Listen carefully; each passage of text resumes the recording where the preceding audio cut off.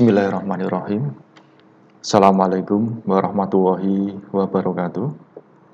Apa kabar semuanya? Semoga dalam keadaan sehat walafiat, diberikan panjang umur, diberikan banyak rizki. Kita mulai untuk mata kuliah data mining. Kita bahas yaitu tentang algoritma K-mean.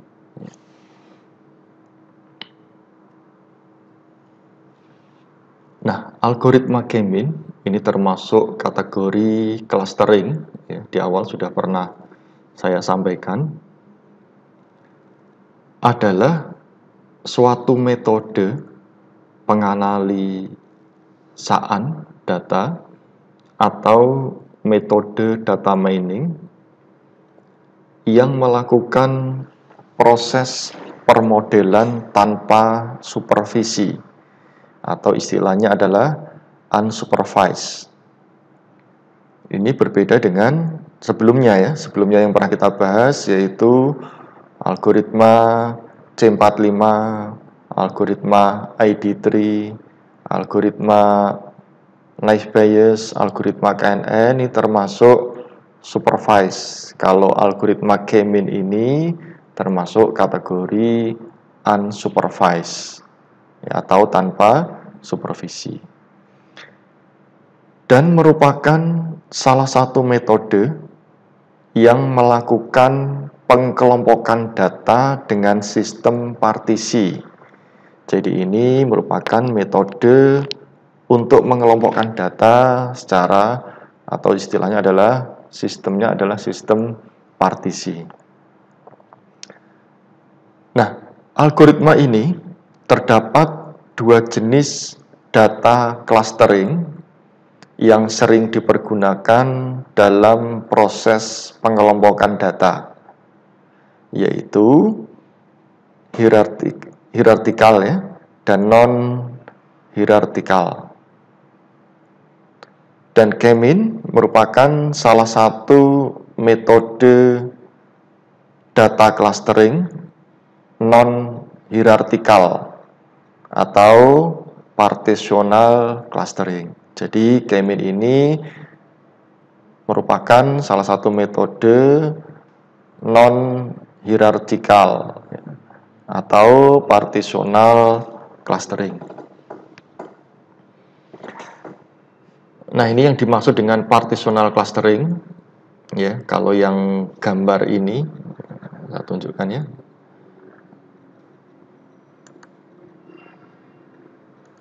Nah, gambar ini ini original point ya, original point. Kemudian kalau ini adalah partitional clustering. Jadi dipartisi, dipartisi itu artinya dibagi. Ya. Ini adalah bentuknya. Nah, metode K-mean clustering ini berusaha mengelompokkan data yang ada ke dalam beberapa kelompok di mana data dalam satu kelompok mempunyai karakteristik yang sama satu sama lainnya dan mempunyai karakteristik yang berbeda data yang ada di dalam kelompok yang lain. Ini hierarchical clustering. Di gambarnya seperti ini.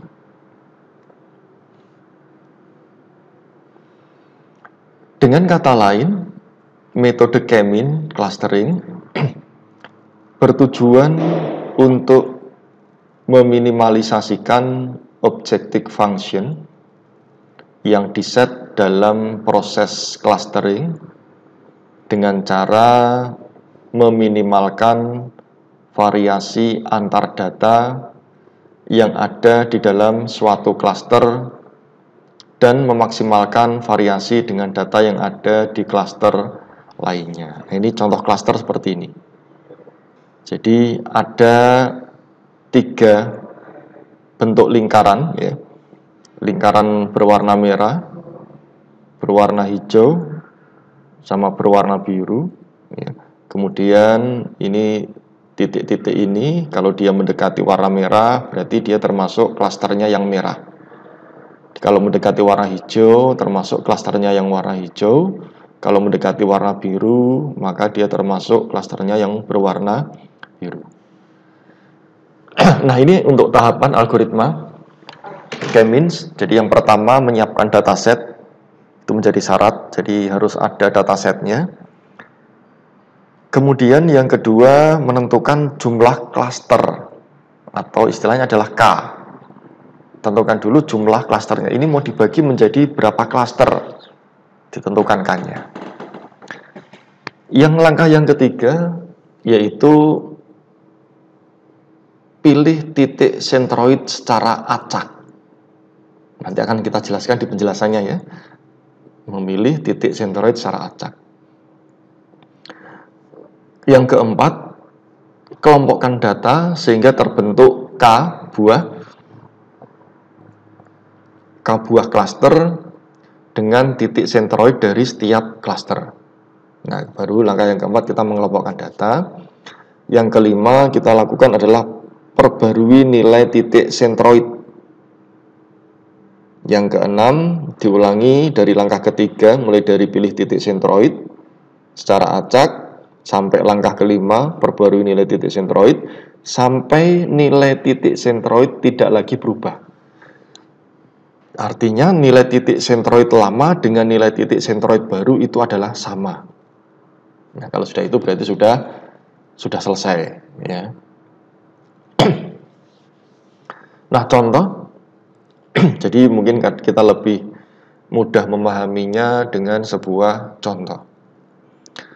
Contohnya, data yang telah ada pada tabel di bawah ini digunakan untuk menentukan clustering Kemudian data tersebut dianalisis. Dataset tersebut memiliki 15 record dan memiliki atribut X dan Y. Nah, ini datanya. Ini yang pertama menyiapkan datasetnya dulu. Jadi di sini ada 15 data dari angka 1 sampai data ke 15. Kemudian ada nilai X sama nilai Y. Ini datanya. Nah, data ini nanti akan kita klasterkan. Ya, nomor satu itu ikut klaster berapa, nomor dua ikut klaster berapa, nomor tiga ikut klaster berapa. Ini data setnya ya. Ada 15. Nah, yang kedua, kita menentukan jumlah klaster K. Jadi jumlah klasternya sudah saya tentukan, K-nya nanti ada tiga. Ya, K-nya ada tiga. Jika ini bebas ya ditentukan ya, nanti dia menjadi beberapa bagian. Ini kelarangnya ada tiga. Nah, langkah yang ketiga, kita akan pilih titik sentroid secara acak. Oke, kita akan lihat ya. Titik sentroid secara acak. Nah, kalau penentuan titik sentroid ini bagaimana? Ini bebas. Bebas artinya kita bisa menentukan nilai X dan nilai Y bebas. Atau kita bisa menentukan nilai X dan nilai Y berdasarkan data yang ada di sini. Ya. Misalnya kita cari data terkecil adalah 1 dan 7. Ya. Kemudian data tengah mungkin adalah eh, 4 sama 9 misalkan. Data yang tertinggi 10 sama 5 misalnya. Atau kita buat sendiri juga boleh. Jadi ketika nilai titik nilai K-nya 3 berarti kita menentukan C-nya klasternya ya klasternya atau sentroidnya C1 C2 C3 ini berdasarkan penentuan nilai K-nya. Kemudian kita menentukan nilai X dan Y-nya ini bebas. Ya ini bebas. Boleh kita mengambil dari yang sudah ada di sini atau kita buat baru. Nah, ini kalau contoh yang saudara lihat ini kita buat baru. Jadi titik sentroid C1, X-nya 1, Y-nya 4. Nanti saya kasih simbol berwarna segitiga berwarna hijau. C2, X-nya 5, Y-nya 6. Nanti saya kasih tanda segitiga berwarna merah. C3 X-nya 9, Y-nya 8. Nanti saya kasih gambar atau simbol segitiga berwarna ungu. Ya. Jadi sekali lagi titik sentroidnya ini acak. Ya, jadi nanti kalau saudara lihat contoh lain titik sentroidnya menggunakan data boleh, tidak menggunakan data juga boleh. Ya. Oke, itu yang harus saudara pahami. Ya. Nah, kemudian kita akan melakukan visualisasi, visualisasi data. Nah, ini boleh iya, boleh tidak ya. Ini saya pakainya Excel, visualisasi data. Nah, dari titik ini kita akan melakukan visualisasi data. ini data-data yang tadi ya. Ini data yang tadi, coba saya tampilkan dulu data yang tadi. Nah, ini. Jadi yang pertama ini kan 7 sama 1. Nah, berarti ini kan X-nya 1, Y-nya 7. Ini X ya. Kalau data pertama mana? X-nya 5, Y-nya 2. 5, X-nya, Y-nya 2. Nah, ini data pertama. Ya, jadi, kalau saudara lihat, ini artinya semua data yang ada di sini kita pindah ke visualisasi data. Ini supaya apa ya? Supaya lebih bisa memahami ya supaya saudara lebih memahami tentang konsep dari algoritma K-means. Jadi semua data ini saya pindah ke dalam bentuk grafik ya, dalam bentuk grafik seperti ini. Nah, data pertama 52 X-nya yang bawah ini X yang horizontal, yang vertikal ini adalah Y. Jadi data pertama 52 ini berarti 5, X-nya, Y-nya 2. Nah, ini data pertama. Data kedua, 2, 3. Berarti 2, X-nya, 3, Y-nya. Dan seterusnya. Ini ya. Ini bisa dipahami dulu. Kemudian, kalau sudah, sudah di yang warna biru kecil ya. Kemudian, kita menentukan simbol yang digunakan untuk titik sentroid. Simbol yang pertama berwarna hijau atau C1 itu X-nya 1, Y-nya 4. X1 di sini, Y-nya 4. Nah, ini kita kasih simbol berwarna hijau. X-nya 5, Y-nya 6, ya. X-nya 5, kemudian Y-nya 6. Nah, ini kita kasih warna merah. X-nya 9, Y-nya 8. Nah, X-nya 9, Y-nya 8. Nah, nanti data yang ada di sini itu kita klaster menjadi tiga bagian. Data ini apakah ikut yang warna hijau atau ikut yang warna merah atau dia nanti bisa ikut ke warna yang ungu. Ya, sampai sini ya. Oke.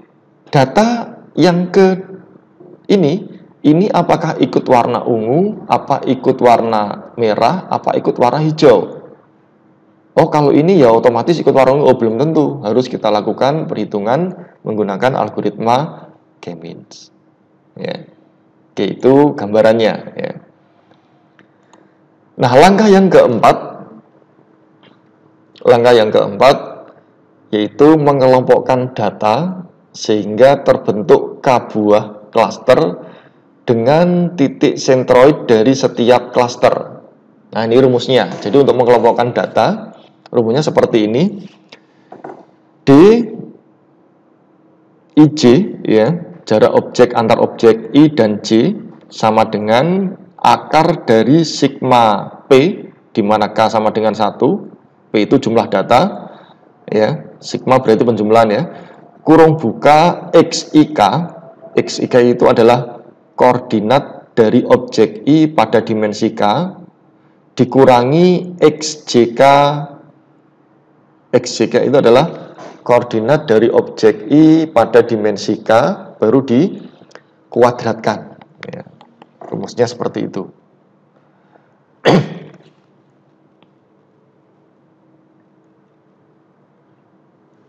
Oke, kita mulai lakukan ya lakukan perhitungan. Yang keempat, kelompokkan data. Nah, kita lihat datanya dulu. Nah, ini datanya ya. Datanya X ini X-nya, ini Y-nya. Ya, sama ya. X, ini Y. Kemudian kita lihat C1, titik sentroid 1. Ini ya, titik sentroid 1 ya. X-nya adalah 1, Y-nya adalah 4. Kita ngitung C1 dulu, yang C2, C3 nanti.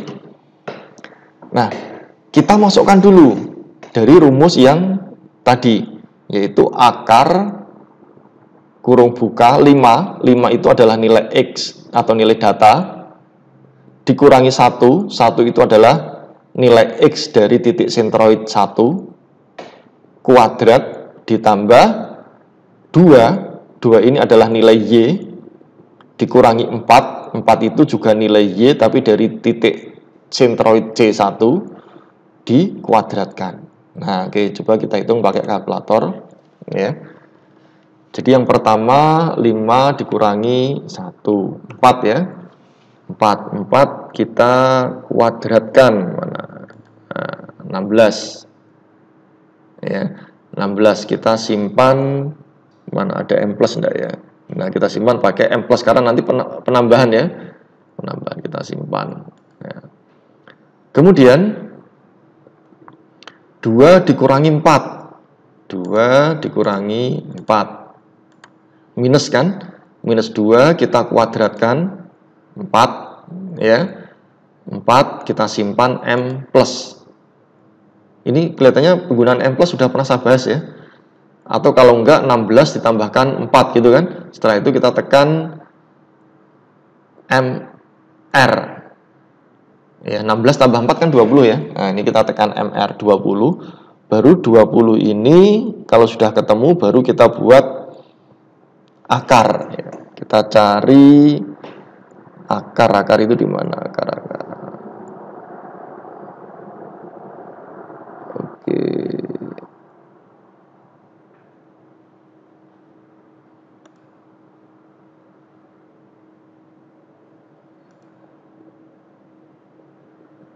akar akar mana ya. Oke kita cari akar dari 20 ya. Akar dari 20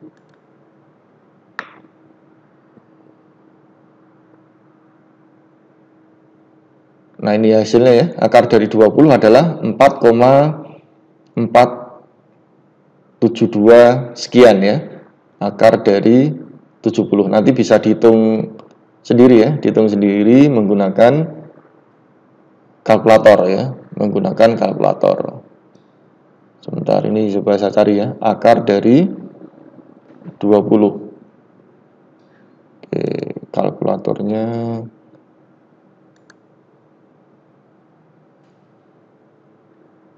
oh, ketemu ya kalkulatornya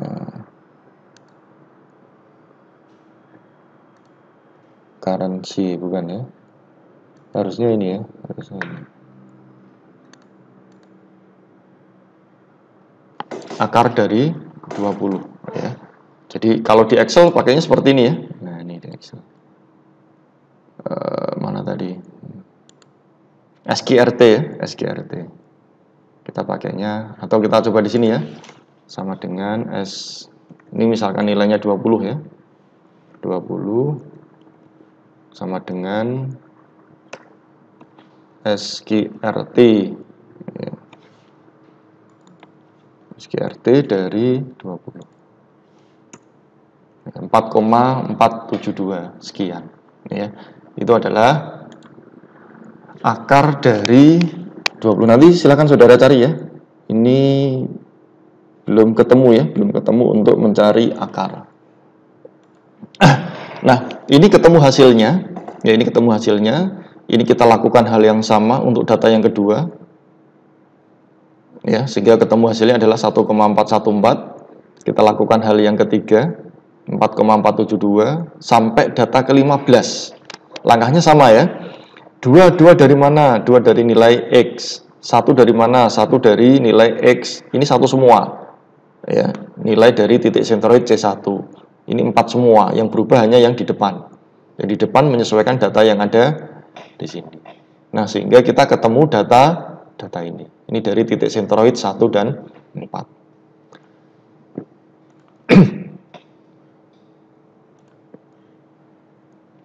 Kemudian langkah berikutnya kita akan menghitung untuk titik sentroid yang kedua atau C2. C2 yaitu X-nya 5, Y-nya adalah 6. Ya, ini lakukan langkah yang sama. Kita lakukan perhitungan. Perhitungannya nggak susah ya. Jadi perhitungannya sederhana ya. Perhitungannya adalah sederhana ya. Ini perhitungan pakai kalkulator biasa, saudara sudah bisa melakukan perhitungannya ya untuk perhitungan sederhana. Akar akar coba mana nah ini ya ini akar ya. 4,721 ya. Hmm. pakai yang standar ya. oke misalkan coba kita hitung satu ya. 5 kurangi 5 0 0 kuadrat 0 2 dikurangi 6 ya. 2 dikurangi 6 min 4 min 4 kuadrat 16 ya 16 akar adalah 4 ini datanya kita ngitungnya pakai ini pakai yang standar ya pakai yang standar. Nah ini kita menghitung untuk titik sentroid C2 sama seperti yang atas saya tahu. Kemudian kita menghitung titik sentroid C3 ya kita menghitung titik sentroid C3 di mana X nya 9 Y nya 8 kita lakukan perhitungan sehingga ketemu hasil. Nah dari perhitungan nilai C1, C2, C3 ya. Titik sentroid dari setiap klaster kita ketemu nilainya. C1 itu adalah 4,472, C2-nya 4, C3-nya adalah 7,2 sekian. Ya. Data yang kedua, C1-nya 1,414, C2-nya 4,24, C3-nya adalah 8,602. Nah, hasilnya, nah ini yang saya, yang saya maksud, hasil ini adalah nilai terkecil dari C1, C2, dan C3. Berarti dicari nilai yang paling kecil. Contohnya, nilai yang terkecil dari data pertama 4,4 4 sama 7,2. Yang paling kecil yang mana? Yang paling kecil adalah C2. Sehingga ini termasuk kategori C2. Oke, sampai sini dulu ya. Yang kedua, 1,4 4,2, 8,6. Yang terkecil mana? Yang terkecil adalah 1,4. Sehingga hasilnya adalah C1 atau ini merupakan bagian dari C satu data kedua merupakan bagian dari C1. Yang ketiga 4,4, 2,8 sama 6. Yang paling kecil adalah C2. Ya. Kemudian yang ini 8,4, 4,4, 2,8. Yang terkecil adalah C3. Sehingga kita ketemu hasilnya. Ya. Ini ketemu hasilnya.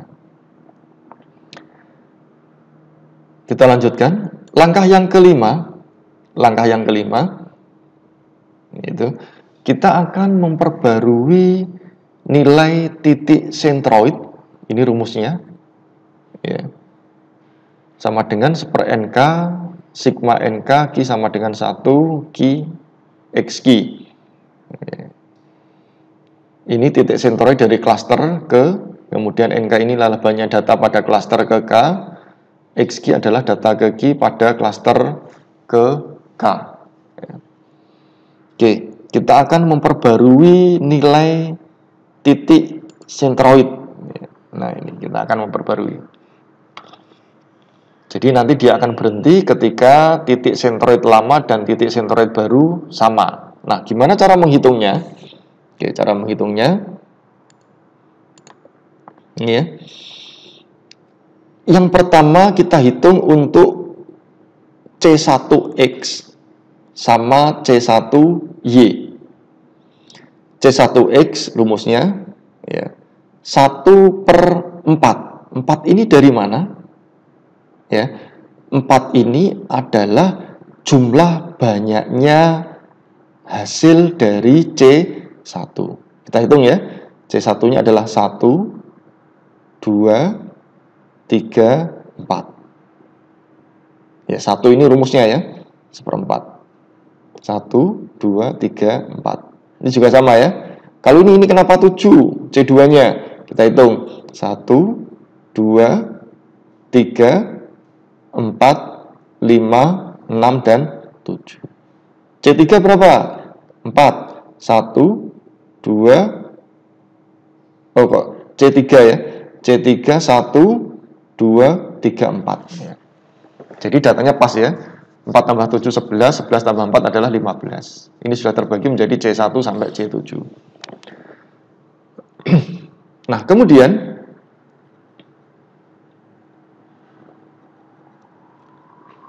kemudian sigma dari ini ya, sigma dari ini. Nah, kenapa angka 2? Ya. Angka 2 itu dari mana? Angka 2 itu adalah nilai X-nya saya perbesar coba. Nah, oke, kita lu besar ya.